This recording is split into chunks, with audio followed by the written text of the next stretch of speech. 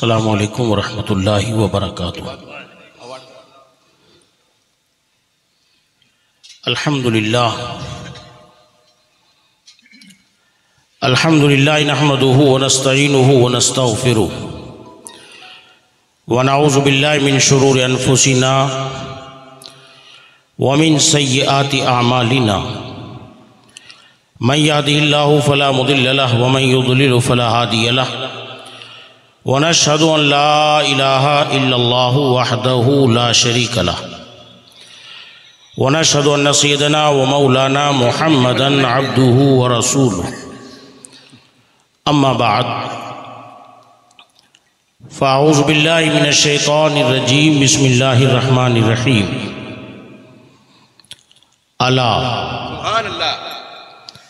इन अलिया अल्लाहि ला खौफुन अलैहिम वला हुम यहज़नून अल्लज़ीन आमनु व कानू यत्तक़ून लहुमुल बुशरा फ़िल हयाति दुनिया व फ़िल आखिरा ला तब्दील लिकलिमातिल्लाह ज़ालिका हुवल फ़ौज़ुल अज़ीम सदक़ल्लाहुल अलियुल अज़ीम व बल्लगना रसूलुहुन नबियुल अमीनुल मकीनुल करीम वनहनु अला ज़ालिका लमिन शाहिदीन व शाकिरीन वल्हम्दुलिल्लाहि रब्बिल आलमीन। बादय तोहीद की मतवालों, शम रिसालत के परवानों, गौस व ख्वाजा के दीवानों अलियाए उम्मत के शदाइयों आइए हम और आप मिलकर इंतहाई खलूस और महब्बत के साथ, सारी कायनात के मरकज़ी अकीदत, गुंबद खजरा की मकीन रहमतुल्लामीन ताहा व यासीन। अनी से बेकसा, चारा साज दर्दमंदा। फ़ख्र रसूला, मालिक हफ्त आसमां। सयाह लामका। हजूर अहमद मुशतबा रूही फ़िदा जनाब मोहम्मद मुस्तफ़ा। सल्लल्लाहु ताला की बारगाह मोल्ला बेकसपनाह में। अकीदतों के साथ, महब्बतों के साथ दुरू शरीफ का नज़ाना पेश करें, पढ़ें बावाज बुलंद।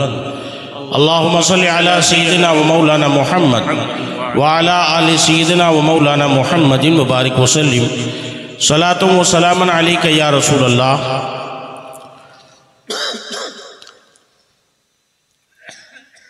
हुजूर सरकार सैयद शाह हमज़ा आइनी मारहरवी अली रहमा।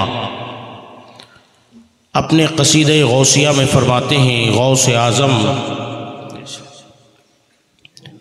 गौस आज़म बमने बेसरो सामा मदद गौस आज़म बमने बेसरो सामा मदद क़िबल दी मदद काब इमा मदद माँ गदाएम तो सुल्तान दो आलम हस्ती। माँ गदाएम तो सुल्तान दो आलम हस्ती अस्तुदारेम तमा या शह जिला मदद। इंतज़ार करम तुस्त मने ऐनी रा ए खुदा जू व खुदा भी व खुदा दा मदद। हजरात आज का ये अजीम शान रूह परवर इजलास रूह की चार्जिंग करने वाला इजलास। शहनशाह बगदाद गौ से समदानी, कुतुब रब्बानी, महबूब सुबहानी, कंदील नूरानी, शहबाज लामकानी, पीरान पीर मोहुद्दीन रोशन ज़मीर सैदना व मौलाना व मुर्शदना। गौसुल आज़म गौसुल आज़म, अब्दुल कादिर जीलानी सैदुल अफराद, कुतुबुल अख्ताब, पीर पीरा, मीर मीरा। गौस आज़म पीरान पीर दस्तगीर रज़ी अल्लाह तु के नाम नामी इसमें गिरामी से मंसूब हैं।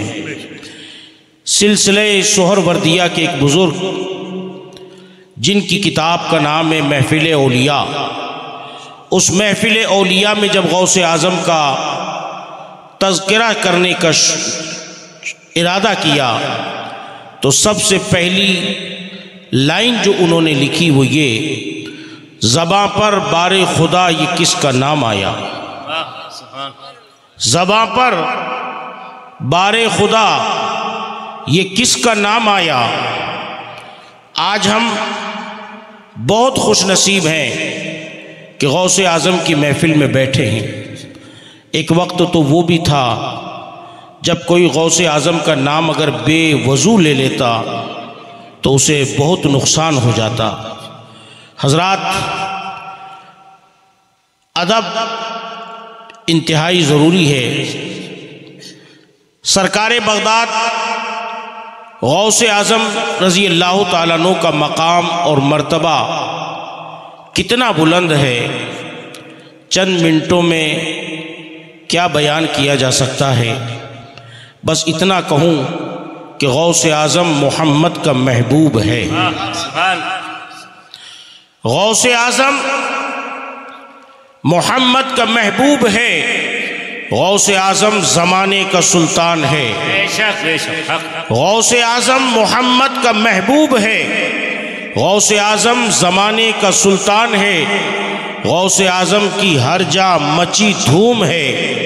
गौस आज़म की हर जा मची धूम है। गौस आज़म का घर घर में फैजान है। उसने चोरों को देखा। वली कर दिया। आज हम कई कई लाख रुपए जलसों पे खर्च करने के बाद एक नमाजी नहीं बना पाते। गौसे आज़म की एक नज़र ने चोरों को वली बना दिया। डाकुओं को कुतुब बना दिया। रहजनों को रहबर बना दिया। गौसे आज़म मोहम्मद का महबूब है। गौसे आज़म जमाने का सुल्तान है। गौसे आज़म की हर जा मची धूम है। गौसे आज़म का घर घर में फैजान है। उसने चोरों को देखा वली कर दिया पुरखताओं को कुतबे चली कर दिया। गौसे आज़म की है हर नज़र की मियाँ। गौसे आज़म का फैजान घर घर में मौजूद हजरात सरकार गौ से आज़म, पीरान पीर, दस्तगीर रज़ी अल्लाह तु का नाम नामी, इसमें गिरामी, जो आपके वालदेन बुजुर्गवार ने रखा, वो है अब्दुल कादिर। क्या नाम है आपका? बोलिए ज़ोर से। हाँ। आपका नाम नामी, इसमें गिरामी क्या है? अब्दुल कादिर। आपके वालिद मोहतरम का नाम है सैयद अबू सालेह। बोलिए। सैयद अबू सालेह। ये सैयद अबू सालेह बारहवीं पीढ़ी में आपका शजर नसब, इमाम आली मुकाम, इमाम हसन मुशतबा रज़ी अल्लाह तु से मुतसिल होता है। यानी आपके वालिद ग्रामी, इमाम हसन रज़ी अल्लाह तु के फर्जंद है। गौसे आज़म ने खुद फरमाया, अनल हसनी। अनल हसनी वल मखदा मकामी। व आलामी अला रूसिल जिबाल। मेरी अजमतों के झंडे पहाड़ों की चोटियों पर लहरा रहे। मुरीद ला तखफ। गौसे आज़म फरमाते, मेरे मुरीद, डरने की ज़रूरत नहीं है। घबराने की ज़रूरत नहीं है। परेशान होने की ज़रूरत नहीं है। मुरीदी ला तखफ वाशिन फ़ैनी अजूम कातिल इंदल किताली इसी को इमाम अहले सुन्नत ने फरमाया ए रजा, यू न बिलक ए रजा तसली ए रजा, यू न बिलक तू नहीं जयिद तो न हो। ए रजा, यू न बिलक बिलकना कहते घबराना, मचलना, परेशान होना, रोना, गिड़गड़ाना, परेशान होना, ऐ रजा, यू न बिलक, तू नहीं जयिद तो न हो। सईदे जयिदे मौली, मोहब्बत के साथ। मैं उस गौसे आज़म का ज़िक्र कर रहा हूँ, जिनका ज़िक्र मेरे ख्वाजा ने भी किया है। जिनका ज़िक्र मोइनुद्दीन हसन अजमेरी ने किया है। अरे आज हम अपने नसीबे पे नाज करें कि गौसे आज़म ने अपने ज़िक्र के लिए हमें चुन लिया है। हमें ज़िक्र सुनने के लिए चुन लिया है। हमें अपनी मजलिस में बुला लिया है। हजरात, वो इतने पावरफुल पीर हैं पीर नहीं, पीरों के पीर हैं। वो बगदाद में आराम फरमा है तो चित्तौड़ के ऊपर अपनी नज़रें रखे हुए हैं। हज़रत मोहतरम फरमाते, बिलादुल्लाह तहता हुक्मी, दुनिया के सारे मुल्क अब्दुल कादिर की निगाहों के सामने है। मैं दुनिया के सारे शहरों को इस तरीके से देख रहा हूँ। नज़र तो इला बिलादिल्लाह जमान का खरदलतिन अला हुक्म इतिसाली, जैसे अपनी हथेली के ऊपर राई का दाना होता है, इस तरह पूरी दुनिया को देख रहा हूँ। हजरात अगर रसूल मोहतरम के 470 साल के बाद पैदा होने वाले अब्दुल कादिर की शान ये है तो मदीने के ताजदार की शान का आलम क्या होगा? अल्लाह नाराय तकबीर नाराय तकबीर नाराय रिसालत नाराय रिसालत शान गौसुल वरा नाराय तकबीर नाराय रिसालत सुभान। हजरात गौसे आज़म कहा बगदाद शरीफ? कितना फासला, कितनी दूरी, हज़रत मोहतरम। मगर हम तो इस उम्मीद पर जलसा सजाए बैठे हैं कि गौस आज़म हम ग़ुलामों पे नज़र करम फरमा दें अभी हमारे शायर पढ़ रहे थे उस्ताज जमन का कलाम, निकाला है पहले तो डूबे हुओं को, निकाला है पहले तो डूबे हुओं को और अब डूबतों को बचा गौसे आज़म। अब डूबतों को बचा गौसे आज़म। हजरात, आपका लकब गौसे आज़म है। गौसे, आपका लकब क्या है? गौसे आज़म। गौसे आज़म का माना बहुत बड़े फरियाद रस। बहुत बड़े फरियाद रस। अब पूरी तफसील का डिटेल बयान करने का वक्त अभी नहीं है। मुख्तसरन, सरकार गौसे आज़म का लकब फरियाद रस हुआ। सवाद आज़म अहल सुन्नत वल जमात आपको गौस आज़म के नाम से जानता है। नाम आपका अब्दुल कादिर है। लकब आपका गौस आज़म है। कुन्नीत आपके अबू मोहम्मद है। और अलकाब आपके कुतुबुल अख्ताब है। सैदुल अफराद है। गौसुल अगवास है। पीरान पीर है। दस्तगीर है। हजरात, नाम तो एक है। ज़ात एक है। और अलकाब की कितनी लंबी फहरिस्त है। ये सारे मकामात आपको हासिल हैं। हज़रत मोहतरम, सरकार गौसे आज़म रज़ी अल्लाह तु को बहुत बड़ा फरियाद रस क्यों कहा गया? क्यों आपको जमाना गौसे आज़म के नाम से पुकार रहा है? आप एक दिन बगदाद शरीफ के अंदर, दरिया के किनारे, तफरीह के लिए, बहुत आसान लफ्जों में बात अर्ज़ करूँगा ताकि आपके दिल के अंदर उतर जाए। गौस आज़म दरिया के किनारे टहलने के लिए, तफरी के लिए, सैर के लिए तशरीफ़ ले गए।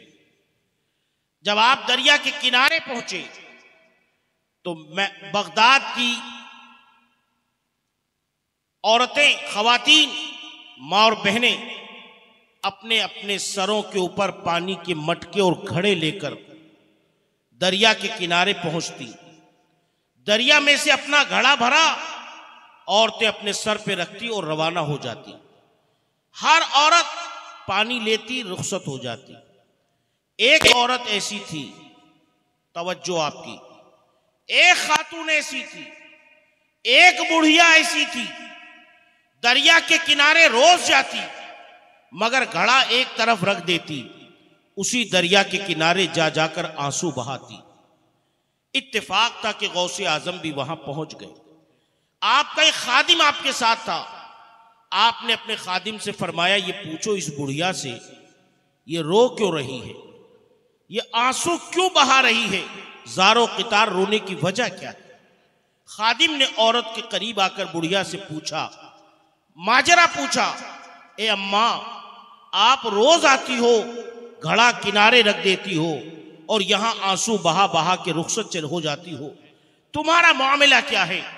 उस बुढ़िया ने कहा, आपने पूछा है तो बता देती हूँ। आज से बारह साल पहले, तवज्जो, आज से 12 साल पहले मेरा बेटा बारह साल पहले आज से मेरा इकलौता बेटा और कोई औलाद मेरे पास नहीं। अकेला एक ही बेटा था। वो सज धज कर पूरी बारात बनाकर इसी दरिया के किनारे कश्ती पे सवार होकर, वो पार होकर गया था। और वहाँ जाने के बाद उसने निकाह भी कर लिया। दुल्हन भी उसने साथ ले ली।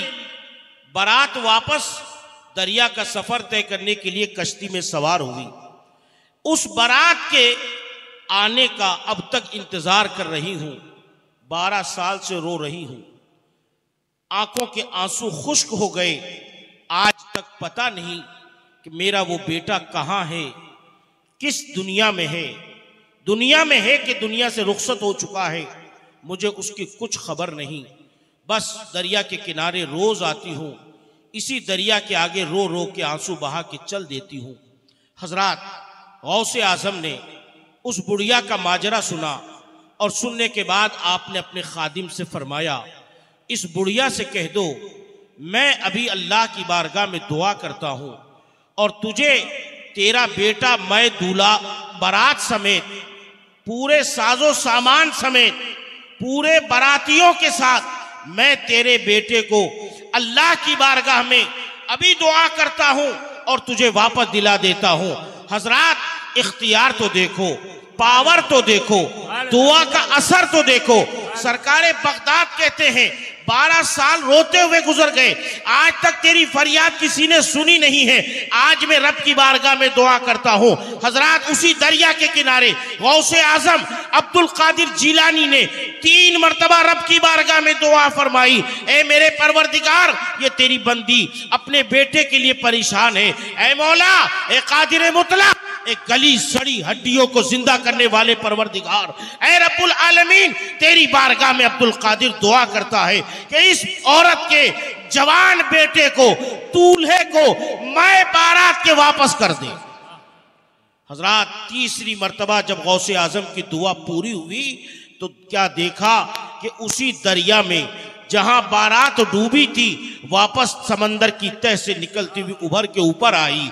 कश्ती आ रही थी। सरकार गौसे आज़म वही मौजूद थे और उसके बाद जब वो बारात लौट करके वापस आई हजरात मुस्तनद वाकया है मुस्तनद किताबों में मौजूद है इसका किसी ने इनकार नहीं किया है और हजरात वली की विलायत का इनकार और वली की करामत का इनकार तो वही कर सकता है जिसे अल्लाह की कुदरत पे शक हो। इसलिए कि वली जब दुआ करता है तो रब की कुदरत शामिल हाल हुआ करती है। हजरात पैगम हज़रत गौसे आज़म अब्दुल कादिर जिलानी ने दुआ फरमाई और पूरी बारात जो है दरिया से उभर कर सामने आई। जब दरिया से बाहर सवारी आई, सारे बाराती निकले, इकलौता बेटा आया। हजरात, मुझे बताओ, अगर किसी का बेटा बारह साल पहले दरिया में डूब गया हो बताओ क्या उसका कुछ पता रहा होगा? उसकी हड्डियों का कोई नामो निशान बचा होगा? उसके गोश्त पोस्ट का कोई हिस्सा बचा होगा? मगर हजरात मोहतरम, अब्दुल कादिर जिलानी को परवर आलम ने, वो कमाल अता फरमाया है, वो दुआ में असर अता फरमाया है। आपने दुआ फरमाई और अल्लाह पाक ने उस बुढ़िया के बेटे को पूरी बारात के साथ वापस दिला दिया। और वो बुढ़िया अपने बेटे को लेकर जब अपने शहर में पहुँची, अपने गाँव में पहुँची, बड़ी मुस्कुरा रही थी। हज़रत मोहतरम जिस बुढ़िया का इतना बड़ा काम मेरे गौसे आज़म ने किया हो बताओ वो ज़िंदगी भर गौसे आज़म न कहेगी तो और क्या कहेगी? वो गौसे आज़म को याद नहीं करेगी तो और कौन करेगी? मेरे असीसा ने मोहतरम अल्लाह तबारक ताली ने गौसे आज़म को वो कमालत अता फरमाए। हज़रत मोहतरम आप इमाम हसन मुशतबा रज़ी अल्लाह तु की नस्ल पाक से हैं। आपके वालिद हसनी सैयद हैं और आपकी वालद माजिदा हुसैनी सैदा हैं। चौदहवीं पुश्त के अंदर आपका सिलसिला रसब इमाम हुसैन, शहीद करबला रज़ी अल्लाह तु से मिलता है। बाप हसनी है और माँ हुसैनी है सुबहान अल्लाह ये गौसे आज़म का शजरा है। मेरे अजीज़ा ने मोहतरम, दरूद पाक पर अल्लाह सैदिना व मौलाना मोहम्मदिन व अला आल सैदिना व मौलाना मोहम्मदिन वबारिक वसलम सलात व सलाम अली या रसूल अल्लाह सरकार गौसे आज़म 470 हिजरी में आपकी बिलादत हुई चार सौ सत्तर हिजरी में। हमारे हुजूर का विशाल हुआ ग्यारह हिजरी में। ग्यारह हिजरी अगर निकाल दो चार सौ सत्तर में तो कितने साल पहले, बाद हुआ? सरकार गौसे आज़म की विलादत? तकरीबन चार सौ उनसठ। चार सौ उनसठ साल के बाद गौसे आज़म जीलान में पैदा हुए। कहाँ पैदा हुए? जीलान में। रमज़ान शरीफ की पहली तारीख। आपकी विलादत बासआदत हुई। हज़रत, जब आप पैदा हुए, जिस रमज़ान में आप पैदा हुए, उस रमज़ान मुबारक के अंदर आपने पूरा दिन सुबह शहरी का वक्त ख़त्म होने से लेकर इफ्तार तक माँ का दूध नहीं पीते थे। पूरे जिलान के अंदर ये बात मशहूर हो गई। वलदुल अशराफ ला यरदाओ उम्महू फ़ी रमदान। अशराफ घराने में, सैयद घराने में एक ऐसा होनहार बच्चा पैदा हुआ जो अपनी माँ का दूध रमज़ान में नहीं पीता। आप पैदा हुए, आपकी वालद माजिदा ने आपकी दूध पिलाया, मुद्दत रजात पूरी हुई। तीन या चार साल की उम्र हुई गौसे आज़म की। देखिए, हजरात, हर बच्चे को खेलने का शौक बचपन में रहता है। आप और हम इन्हीं मंजिलों से गुजर कर आगे बढ़े। जब बचपना होता है तो खेल का एक फितरी शौक होता है। गौसे आज़म की उम्र शरीफ जब खेलने की उम्र पहुँची, बचपना था, लड़कपन था चार पाँच साल की उम्र थी। बच्चों के साथ बच्चे आवाज़ लगाते, अब्दुल कादिर, आओ, अपन सब खेले। तो गौसे आज़म फरमाते बच्चों मैं तुम्हारे साथ खेलूँगा मगर खेल वो होगा जो मैं बताऊँगा। खेल मैं बताऊँगा। फरमाया आप बता दीजिए। का देखो जब मैं कहूँ ला इलाहा क्या बोला? जब मैं कहूँ ला इलाहा तो तुम बोलना इल्ला मैं कहूँगा ला इलाहा। तुम बोलना इल्ला अब सरकार गौसे पाक चार पाँच साल की उम्र के अंदर बच्चों से कहते मैं कहूँगा ला इलाहा। तुम बोलना इल्ला ला इलाहा इल्ला ला इलाहा इल्लल्लाह। अब गली से गुजर रहे होते, गौसे आज़म आगे आगे चलते, बच्चे पीछे पीछे चलते, आप कहते ला इलाहा, बच्चे कहते इल्लल्लाह, ला इलाहा, इल्लल्लाह, ला इलाहा, इल्लल्लाह। हज़रत गलियों से गुजरते थे तो कलमय तय्यबा का विरद हुआ करता था। ये खेल था अब्दुल कादिर जीलानी का। मेरे अजीज़ा ने मोहतरम, उस माँ ने, हुसैनी सैदा ने आपकी ऐसी परवरिश फरमाई, लेकिन लड़कपन के अंदर गौसे आज़म के वालिद माजिद का विशाल हो गया। जब आपका विशाल हुआ तो हजरात सारी तरबियत की ज़िम्मेदारी माँ की आ गई। ये एक इतफाक़ की बात है।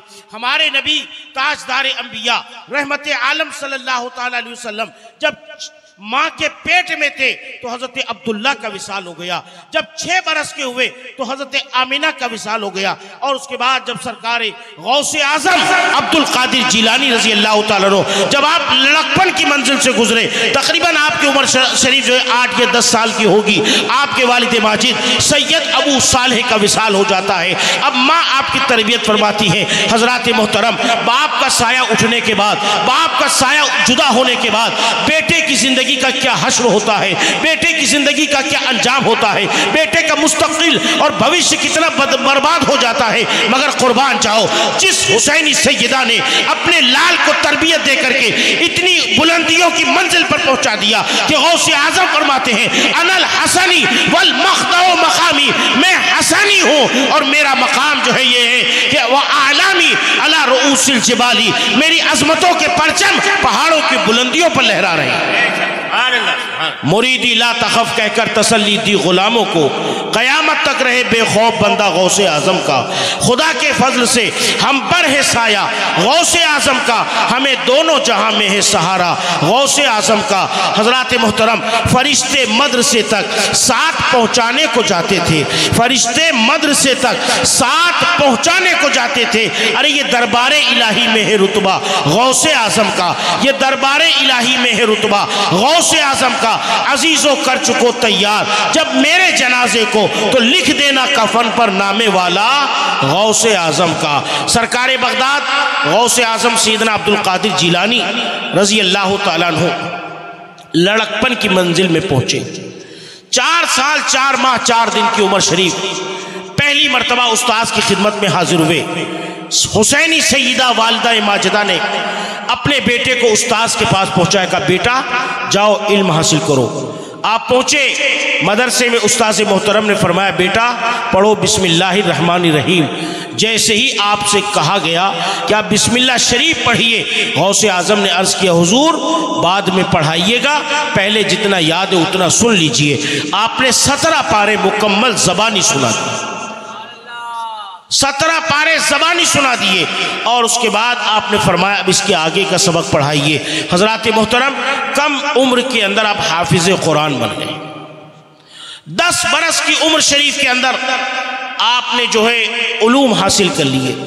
अठारह साल की उम्र तक आप पहुँचे। 470 में पैदा हुए 488 तक आप जिलान में रहे। उम्र शरीफ आपकी 18 साल थी। सरकार गौसे आज़म अब्दुल कादिर जिलानी रज़ी अल्लाह हो अपनी वालद माजिदा से अर्ज़ करते अम्मी जान, जिलान के अंदर जितना इल्म था वो अब्दुल कादिर ने हासिल कर लिया। अब मुझे आगे भेजिए तो आपकी वालद माजिदा ने आपको आगे भेजा।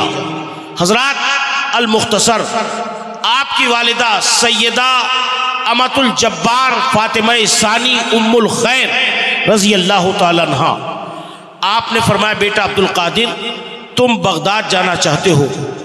कोसों की दूरी है, मीलों की दूरी है, इतना लंबा सफ़र तुम तय करके जा रहे हो। एक बात और जहन में रखें, सरकार गौसे आज़म की विलादत हुई जब आपकी वालिदा साहिबा उम्मुल खैर फातिमा की उम्र शरीफ साठ साल की थी। हज़रत अबू साले के औलाद नहीं हुई, मुद्दत गुजर गई। एक अरसा बीत गया। यहाँ तक के हज़रत उम्मुल खैर फातिमा की उम्र शरीफ साठ साल को हो गई। साठ साल की उम्र के बाद औलाद होना तो मुश्किल हो जाता है। तमाम डॉक्टरों का, साइंटिस्टों का इस बात पर इत्तेफाक है, पचपन के बाद सिन्न अयास की उम्र शुरू हो जाती मायूसी वाली। अब औलाद की उम्मीद करना बेकार हो जाता है, मगर गौसे आज़म वालदा की उम्र है साठ साल। आप उस उम्र के अंदर पैदा हुए, जब वालदा की उम्र साठ साल की थी। दुनिया में तशरीफ़ लाए, साठ साल की उम्र में पैदा होना खुद एक बहुत बड़ी करामत है। दूसरी बात, जिस वक्त गौसे आज़म पैदा हुए, उस वक्त जीलान और अतराफे जीलान में तकरीबन जितनी औरतें हामिला थी ग्यारह सौ की तादाद में वो सब के सब औलाद वाली हुई और अल्लाह ने सबको बेटे अता फरमाए। गौसे आज़म की नस्बत से सबको बेटे अता फरमाए और सिर्फ़ बेटे ही नहीं अता फरमाए, उन ग्यारह सौ बेटों को अल्लाह ने विलायत का मनसब अता फरमाया। उन्हें विलायत की मंजिलें भी अता फरमाई। ये सब फैज़ान गौसल वरा है। हज़रत मोहतरम, अब सरकार गौस आज़म रज़ी अल्लाह तहो बगदाद शरीफ पहुँचे। बगदाद शरीफ पहुँचने के बाद वहाँ का एक कदीम मदरसा था, जामिया निज़ामिया। बहुत बड़ी यूनिवर्सिटी थी। हज़रत, बगदाद वो शहर है जिसने हिलाकू की तारीख भी देखी है, जिसने अब्बासी दौरे हुकूमत भी देखा है। ये बहुत इसने तारीख के बदलते हुए मोड़ देखे हैं। मगर जब गौसे आज़म सैदना अब्दुल कादिर जिलानी रज़ी अल्लाह तु बगदाद शरीफ पहुँचे, जामिया निज़ामिया के अंदर आपने पढ़ना शुरू किया। हज़रत, आपने इल्म हासिल किया। एक रिवायत में ये कि आपने सात साल तक आपने वहाँ इल्म हासिल फरमाया। अट्ठारह और सात कितने हो गए? पच्चीस साल। यानी पच्चीस साल की उम्र तक आपने इल्म हासिल फरमाया। हज़रत, एक बच्चा चार साल की उम्र में इल्म हासिल करना शुरू करे और पच्चीस साल की उम्र तक इल्म हासिल करे, बोलो उसके पास कितना इल्म होगा।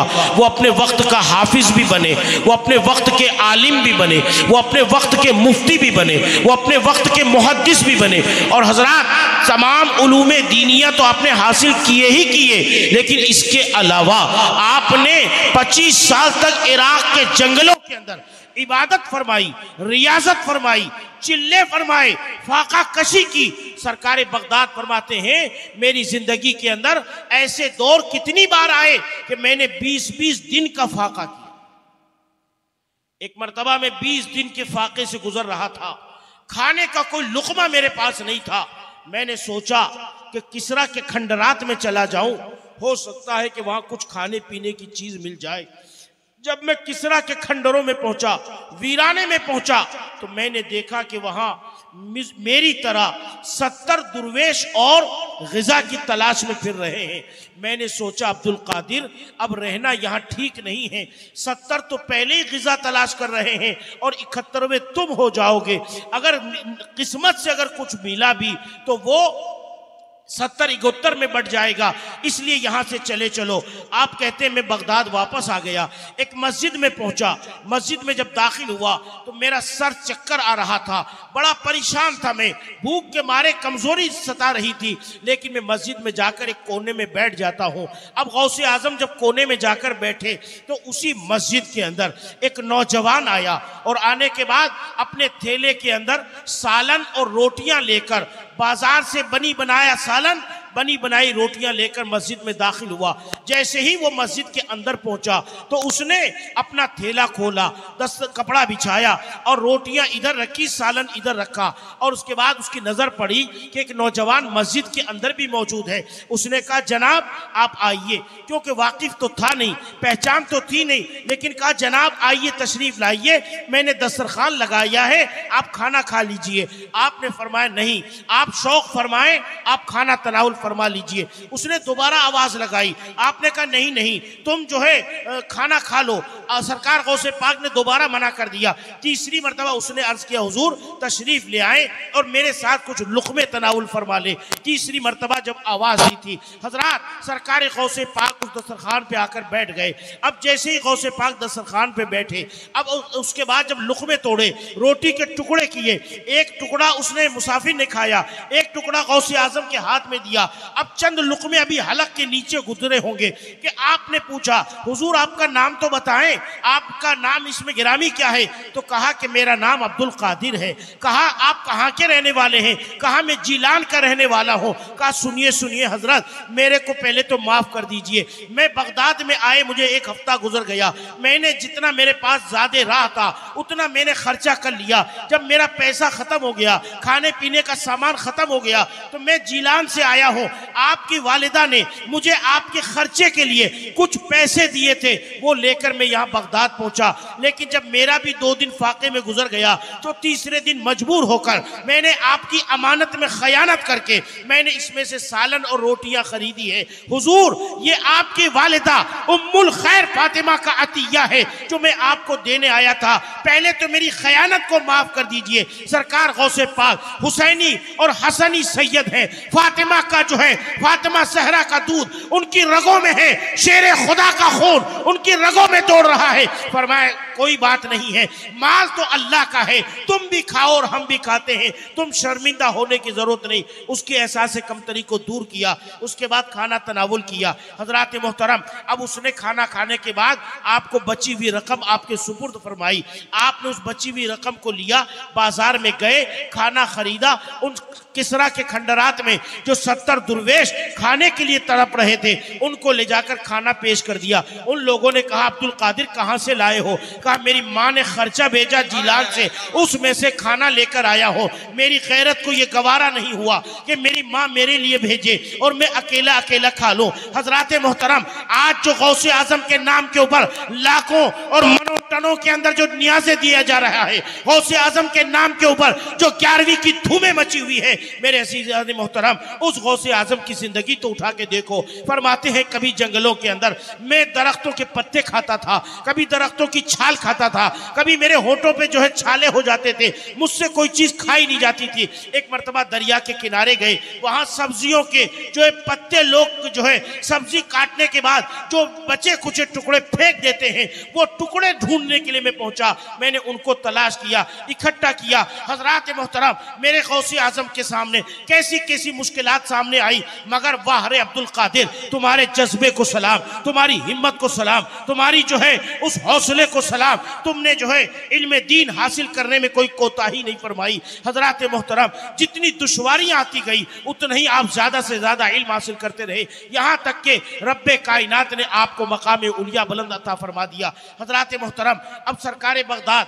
दुरूद पाक पढ़े अल्लाह सैदिना व मौलाना मोहम्मदिन वाला आल सैदिना व मौलाना मोहम्मदिन वबारिक वसलम सलात व सलाम अली या रसूल अल्लाह सलात व सलाम अली या हबीब अल्लाह हजरात सरकार गौस आज़म सैदना अब्दुल कादिर जिलानी रज़ी अल्लाह तु का मकाम कितना बुलंद बाला है। एक मरतबा सरकार गौस आज़म सैदना अब्दुल कादिर जिलानी रज़ी अल्लाह तु फरमाते हैं इन्ना यदि अला मुरीदी का समाय अलल अर्थ मेरा हाथ अपने मुरीदों के ऊपर इस तरीके से साया फगन है जैसे आसमान ज़मीन के ऊपर साया फगन। जिस तरह आसमान ज़मीन के ऊपर साया किए हुए है, इस तरीके से मेरा हाथ अपने मुरीदों के ऊपर साया फिगन है। दरूद पाक पर अल्लाह वसल्लम। अला सैदिना व मौलाना मोहम्मदिन व अला आल सैदिना व मौलाना मोहम्मदिन वबारिक वसल्लम। सलात व सलाम अली या रसूल अल्लाह हज़रत मोहतरम, आपने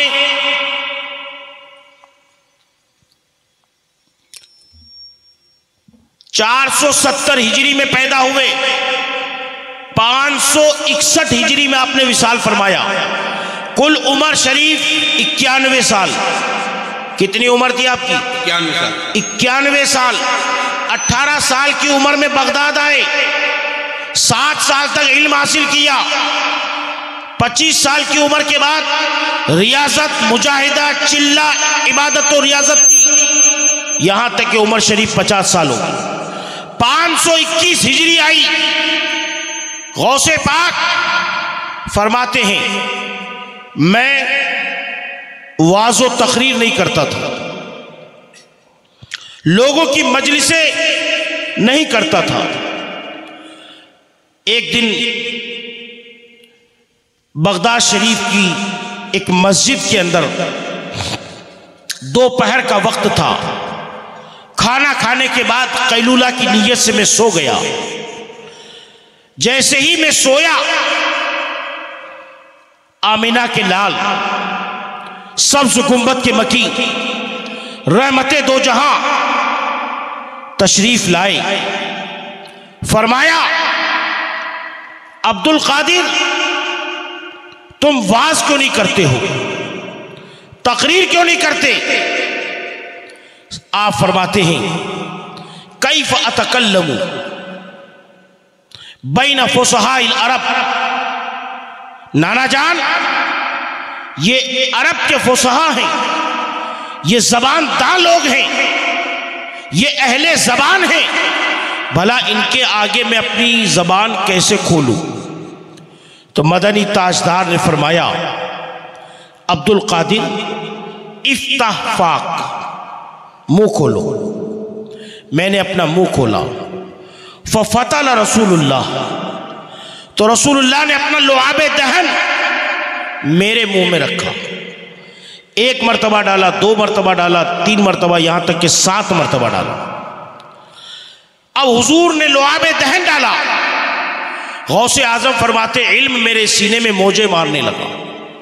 मगर अभी कुछ झिझक बाकी थी कि पब्लिक के सामने खिताब कैसे करूँ?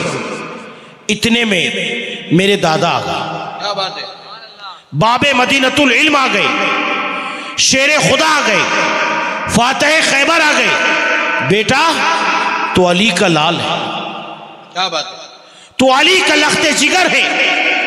खोलो अपना मुँह खोलो। कहा कि मैंने अपना मुँह खोला। मौला अली ने आपके मुँह में एक मरतबा दो मरतबा तीन मरतबा पाँच मरतबा छह मरतबा डाला। छठी मरतबा डालने के बाद मौला अली ने रुक गए। गौसे आज़म क्योंकि अभी थोड़ी देर पहले सात मरतबा लुआब दहन आपके मुँह में आया। आपने फिर सातवीं मरतबा और अपना मुँह आगे बढ़ाया। तो आपने फरमाया नहीं अब्दुल कादिर अदबन मा रसूलुल्लाह। वाह रसूलुल्लाह का अदब वो आका है मैं गुलाम हूँ। वो ताजदार अंबिया हैं मैं उनका उम्मती हूँ।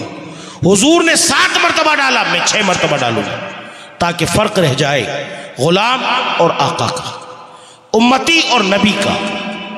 गौसे आज़म फरमाते हैं, अब जैसे ही सात मरतबा नबी का लोहाब दहन, छह मरतबा, बोलिए, मौला अली का लोहाब दहन, जब मेरे मुँह में आया और मैं जब बाहर लगा, पहुँचा, जब मेरी कुर्सी खिताबत लगी और जब मैं लोगों के सामने तकरीर करने लगा तो लोगों का मजमा इतनी तादाद में बढ़ने लगा कि शुरू में पचास, साठ, सौ के अंदर थे। फिर आलम यह हो गया कि जगह तंग होने लगी। ईदगाह के अंदर मेरा मिंबर लगाया गया। वसीओ अरीस, कभी पचास हज़ार लोग होते, कभी साठ हज़ार लोग होते कभी सत्तर हज़ार लोग होते कभी एक लाख की तादाद पहुँच जाती मगर मैं बिना माइक के तकरीर करता तो मेरी आवाज़ को जितना पास वाला सुनता उतना ही आखिर वाला सुना करता। बेशक बेशक। ये आपकी आवाज़ की करामत थी। हज़रत क्यों ना हो? एक बात समझ में नहीं आती। गौसे आज़म ने फरमाया कि मेरा कदम सारे वलियों की गर्दन पर है। और अभी आपने सुना कि गरीब नवाज़ ने खुरासान की पहाड़ियों में वहीं से जवाब दिया, बल अला आईनी व रसी बल अला आईनी आईनी व रसी गौसे आज़म बगदाद में, जामा मस्जिद के मिंबर पे बैठे हैं, खिताब कर रहे हैं, तकरीर कर रहे हैं, दौरान तकरीर फरमाया, कदमी हाज ही अला रकबत कुल्ले वली हजरात हज़रत गौसे आज़म की मजलिस में ऐसे चंद गिने चुने लोग नहीं होते थे। पचास हज़ार, साठ हज़ार के लोग होते थे। चार सौ ओलमा कलम और दवात लेकर बैठते थे। गौसे आज़म की जबान से निकला हुआ एक एक लफ्ज एक एक वर्ड जो है, कागज़ के ऊपर लिखा करते थे। आज गौसे आज़म ने 521 से 561 तक 40 साल तक जो तकरीरें की है, उसका एक एक हर्फ महफूज है। चार सौ ओलमा कलम और दवात लेकर बैठा करते थे।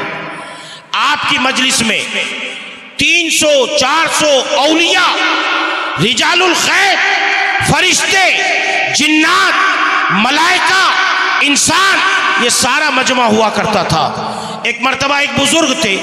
उन्होंने वजीफा पढ़ना शुरू किया कि जिन्नात को अपने पास बुलाऊं। ताबे थे उनके? कहा कि मैं अपने जिन्नात को, मुवक्किल को बुलाता हूँ।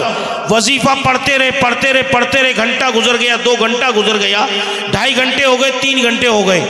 अब वो एक भी जिन्नात आया नहीं। मुवक्किल आपकी कोई बात सुनने को तैयार नहीं। अब उसके बाद कई घंटे गुजरने के बाद वो जिन्नात आया और वो बुज़ुर्ग ने कहा कि भाई, मैं तो इतने घंटे से पढ़ रहा था और आप अब आए हो। कहाँ थे इतनी देर? क्यों नहीं आए तुम मेरे वजीफे के ऊपर? मैंने जब तुम्हें आवाज़ दी तो क्यों नहीं आया? वो कहने लगे, जिन्नात, कहा, जनाब, आज के बाद ये बात याद रख लेना। जब हम गौसे आज़म की मजलिस में हुआ करें तो कभी हमें आवाज़ मत लगाना। जब तक गौसे पाक की महफिल खत्म नहीं होगी, हम वहाँ से उठकर जाने वाले नहीं हैं। अभी भी गौसे आज़म की महफिल में हम मौजूद थे। हज़रत खिजर सलाम गुजर रहे थे, गौसे आज़म की महफिल चल रही थी। गौसे आज़म वाज फरमा रहे थे और खिजर सलाम आसमान से उड़ रहे थे। फिजा में क्रॉस हो रहे थे। गौसे आज़म का मजमा लगा हुआ था। सरकार गौसे आज़म ने हज़रत खिजर सलाम को आवाज़ दी। फरमाया, इसराइली, ज़रा ठहर जा, मोहम्मदी की बात भी सुनता जा सुभान अल्लाह सुभान अल्लाह सुभान अल्लाह सुभान अल्लाह इसराइली ठहर जा, उतर जा नीचे, जरा मोहम्मदी की भी सुनता जा। हज़रत, ये गौसे आज़म का मुकाम है, ये गौसे आज़म की शान है। आप बयान करते थे तो हज़ारों के मजमे में बयान करते थे। हज़रत मोहतरम, आपके साहबजादे सैदना अब्दुल रज़ाक रज़ी अल्लाह तु फरमाते हैं, मेरे वालिद माजिद सैदना गौसे आज़म जब वाज कहते थे, और जब आप तकरीर करते थे तो सैकड़ों लोग जो है, अपने गुनाहों से तौबा कर लिया करते थे। सैकड़ों लोग जो है बेनमाजी नमाजी बन जाया करते थे। और जिसमें मेरे वालिद के वाज में जो शरीक हो जाते थे वो बदकार अगर आते थे तो नेकोकार बन करके जाया करते थे। और गौसे आज़म के साहबजादे सैदना अब्दुल रज़ाक फरमाते हैं कि मेरे वालिद माजिद की खसूसियत ये थी कि जब आप खौफ खुदा का तस्करा करते थे तो दो चार मैयतें तो मजमे से उठ के चल जाती दो चार मैयतें उठ जाती थी। मतलब खौफ खुदा से लोगों की रूह कफा से उनसुरी से परवाज कर जाती थी। ये गौसे आज़म रज़ी अल्लाह तु का मकाम था। मेरे अजीज़ान मोहतरम आप वाज फरमाते रहे। चालीस साल तक आपने वाज फरमाया। कितने साल तक? चालीस साल। चालीस साल तक। तैतीस साल तक आपने फतवा दिया। कितने साल तक? Thirty three. आप मुदरिस थे। आप क्या थे? मुदरिस मुदरिस का